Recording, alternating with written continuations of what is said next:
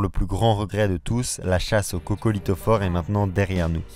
Une partie de la Dream Team quitte le bord, alors que pour nous, une semaine d'escale est à venir à Ushuaia.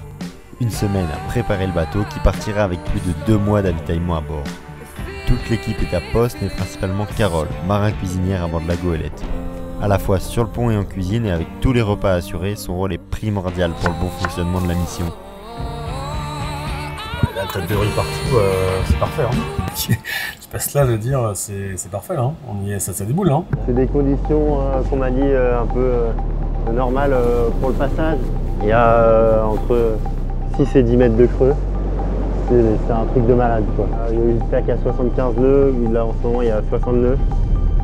C'est complètement fou quoi. Ça donne limite le vertige et on voit le vent sous les vagues. quoi. Là celle a été monstrueuse.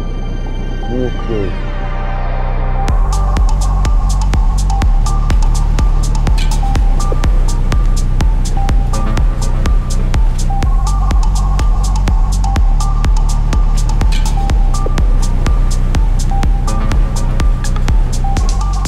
Tara qui est dans, comme d'habitude dans ces conditions-là, un chalet suisse quoi, c'est paisible. euh, Regarde, je suis en pantoufle. C'est rouge quand même à l'heure, mais je suis en pantoufle. euh, Avec une mer de plus de 8 mètres et 50 nœuds de vent, la goélette était littéralement dans son élément. Un océan aussi bien terrifiant que captivant. Oh là là là là, les creux, j'ai jamais vu ça.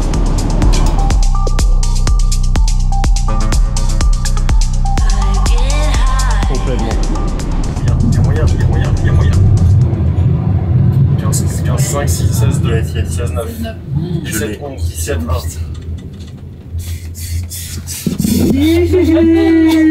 On a eu euh, 75 nœuds en vrai. Ça, j'avais jamais vu encore. Sacré break.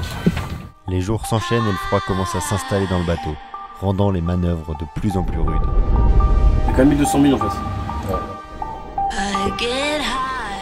C'est à 9 mètres, j'ai jamais vu ça impressionnant et beau. Pas de douche, je garde les mêmes fringues. Le froid arrive dans le bateau, la mer est mauvaise. On a pris un peu cher le Yankee aussi.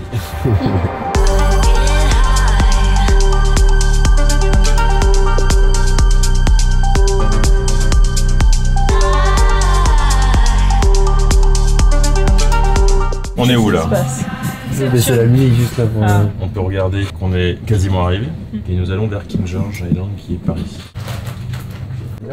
Regarde.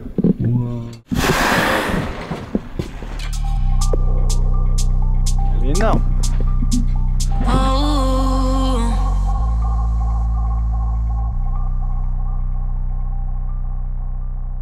Le bateau est en panne, il n'y a plus de moteur, il n'y a pas de vent. On doit être à 30 000 des îles. La paraffine dans le carburant fait que pour l'instant on n'a plus de moteur. Donc nous sommes à la dérive, euh, sans vent et sans moteur, donc on essaie de faire ce qu'on peut. On est, euh, on a aucun moyen de propulsion. là. Ni voile, ni. Ça va jusqu'à ce soir. C'est chance. Bah c'est euh, l'île la plus proche. Hein. C'est beau mais hostile. 7 heures sur la goélette et on arrive sur les, les premières terres de l'Antarctique. Voilà la côte juste ici. C'est tout blanc. Et devant euh, le premier, premier glaçon.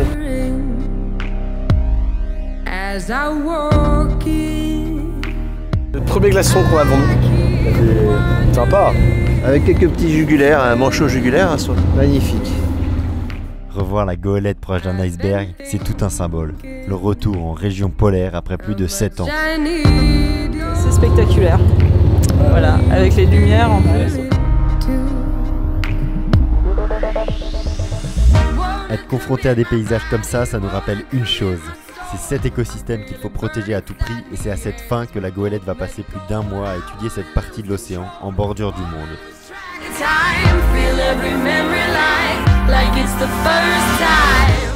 Les baleines, on a eu des icebergs, euh, les premières couleurs incroyables. Euh, ça doit être un ancien volcan, euh, il y a encore de la neige en haut, mais on sent que c'est l'été, que ça a beaucoup fondu. On vient de poser pied sur terre. Ça sent le, ça sent le manchot. On se trouve euh, au milieu d'une d'une ancienne euh, baleinière où se trouvaient des, des Norvégiens. On a vu que c'était dans les années 1920. Une ambiance euh, complètement lunaire dans cette région du monde complètement dingue.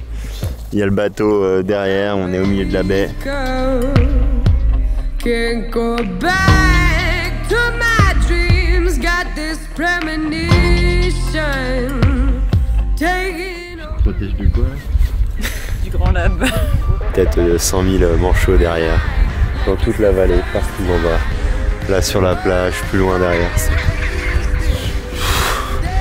Hallucinant, comme endroit, hallucinant.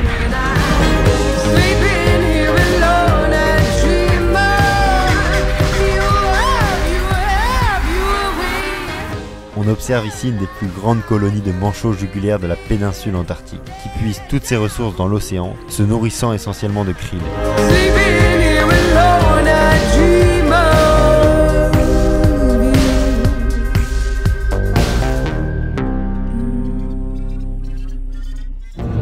Un petit drapeau breton, faut que je le mette là.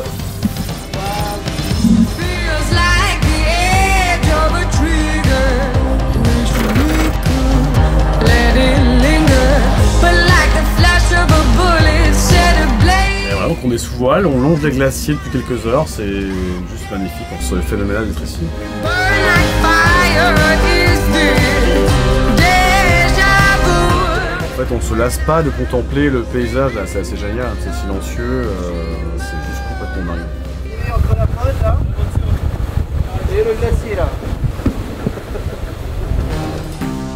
Baleine sur la gauche, glacier devant. Ça, c'était de la manœuvre. Arrivé, enroulage, affalage, bam Propre, joli, j'aime. Une belle arrivée dans la baie, front de glacier, la baleine. Et c'était une super manœuvre.